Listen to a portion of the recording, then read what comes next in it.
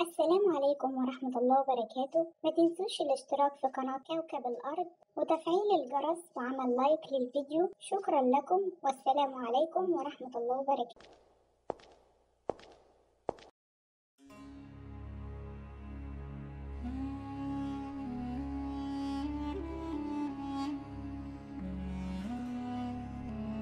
أعلن مصطفى زمزم رئيس مجلس إدارة مؤسسة صناع الخير عن إصابة الإعلامية ريهام السهلي مقدمة برنامج المواجهة بقناة إكسترا نيوز بفيروس كورونا المستجد. وكتب مصطفى زمزم خلال حسابه الشخصي على موقع التواصل الاجتماعي فيسبوك الأصدقاء ريهام السهلي وآية عبد الرحمن والإعلامية إلهام نمر مقدمي البرامج بقناة إكسترا نيوز. ألف سلام عليكم وبإذن الله تقوموا بالسلامة من هذا الفيروس اللعين وربنا يحافظ علينا جميعا وعلى بلدنا. وكانت الإعلامية آية عبد الرحمن المذيعة بقناة إكسترا نيوز أعلنت إصابتها بفيروس كورونا صباح اليوم وكتبت آية عبر حسابها على فيسبوك قائلة الحمد لله تم التأكد من إصابتي بفيروس كورونا.